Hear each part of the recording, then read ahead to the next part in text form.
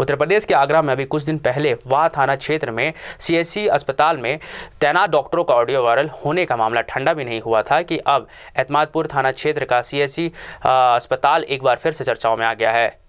एतमादपुर के C H C अस्पताल का मामला सी एच सी अस्पताल से बड़ा है। दरअसल सी एच सी अस्पताल एतमादपुर में दवाइयों का काले धंधे का खेल चल रहा है, जिसमें ये मामला उजागर हो गया है और हमारे पास दवाइयों के पुख्ता वीडियोस भी मौजूद हैं, जिसके आधार पर आप कह सकते हैं कि एतमादपुर के सी एच सी अस्पताल में आने वाली सरकार, सरकारी दवाइयों की सुविधा बीमार और गर्भवती महिलाओं तक नहीं पहुँच पा रही है।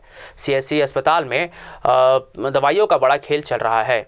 कमीशन खोरी के चक्कर में डॉक्टर बाहर से मेडिसिन मंगाते हैं और सरकार की दवाइयों को यूँ ही गड्ढे और कूड़े में फेंक कर नष्ट कर देते हैं। नज़र आपके सामने है। सीएससी अस्पताल के तैनात एक कर्मचारी के मुँह पर कपड़ा बांधे हुए था और यहाँ सरकारी दवाइयों को आग के हवाले किया जा रहा था।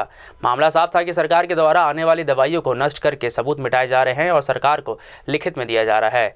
जी हाँ हमने सरकार की सुविधाएँ को जनता तक पहुँचा दिया है। हज़ारों और लाखों रुपये की दवाइयों को सीएससी अस्पताल अतमादपुर के कर्मचारी कूड़े के ढेर में छुपा कर आग के हवाले कर रहे थे। तभी मीडिया को देख कर्मचारी सकपका गए और जवाब कुछ यूँ देने लगे। दरअसल आप, आपको बता देते हैं कि जो वीडियो हमारे हाथ लगी है, उसमें दवाइयों की एक्सपायरी डेट अक्टूबर 2018 लिखी है। यानी साफ़ है कि ये दवाइयाँ अभी तक एक्सपायर नहीं हुई हैं तो फिर इन दवाइयों को आग के हवाले करके नष्ट क्यों किया जा रहा है? बोरों में बंद हज़ारों और लाखों रुपए की सरकारी दवाइयों को यहाँ पर तैनात कर्मचारी और अधिकारी नष्ट करके यूँ ही डकार रहे हैं। यहाँ कोई भी बताने को राज़ी नहीं है कि आखिर इन दवाइयों को नष्ट क्यों किया जा रहा है। सीएससी अस्पताल में चिकित्सा अधिकारी मौजूद नहीं थे और कर्मचारी बोलने को राज़ी नहीं थे।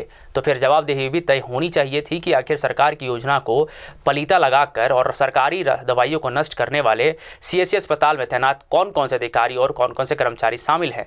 इस वीडियो के आधार पर हम एक कह सकते हैं कि एतमादपुर का सीएससी अस्पताल भ्रष्टाचार का अड्डा बना हुआ है और सरकार की सुविधाएँ जनता तक नहीं पहुँच रही हैं और गर्भवती महिलाओं के साथ बीमार लोगों का हक सी अस्पताल में तैनात कर्मचारी मार रहे हैं। अब देखना होगा कि इस वीडियो के आधार पर यहाँ तैनात अधिकारियों और कर्मचारियों पर क्या कार्रवाई होती है। उत्तर प्रदेश से फरहान खान की रिपोर्ट।